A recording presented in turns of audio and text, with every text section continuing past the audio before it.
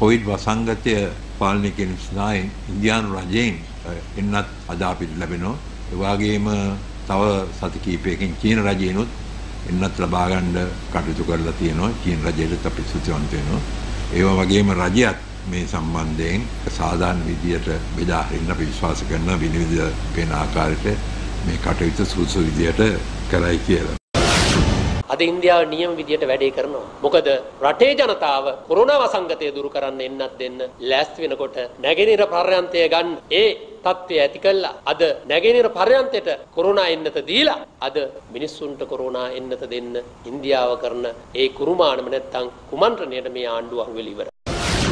අපි එන්නත් සම්බන්ධව කොවැක්ස් වැඩසටහනේ සියලු අංශ දිහා කියන්නේ ඔක්ස්ෆර්ඩ් එකත් ඒ වගේම ෆයිසර් එකත් ඊගාවට ස්පුට්නික් එක රෂියන් එක චයිනීස් එක ඉන්දියා ඒ සියලු දේ ගැන අපි අපේ වෛද්‍යංශත් එක්ක විද්‍යාත්මකව ඒ සම්බන්ධව කටයුතු කරමින් සිටිනවා. අපිට ගැළපෙන එක මොකක්ද කියලා හොයාගන්න එක තමයි පළවෙනිින් දේ.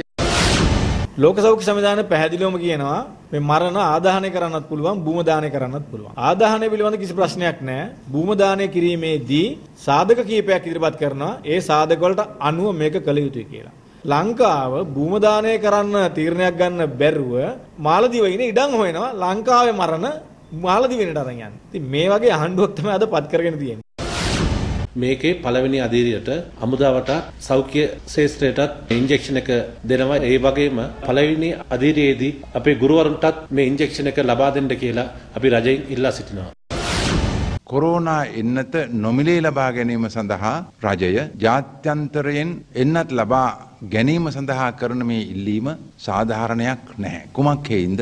gedara අසාධ්‍ය වූ ලෙඩෙක් පණ අදමින් සිටින විට ළඟපාත ඇත්තෝ උදව් ඉල්ලන එක ඒ රෝගියා ඉන්න නිවෙසෙන් සාධාරණද? ඒක කිසිදු යුතුයකමක් නැහැ.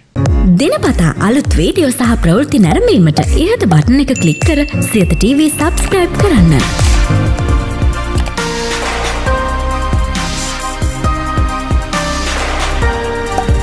අලුත් වීඩියෝ ගැන මුලින්ම දැනගන්න මෙම සීනුව ක්ලික් කරන්න.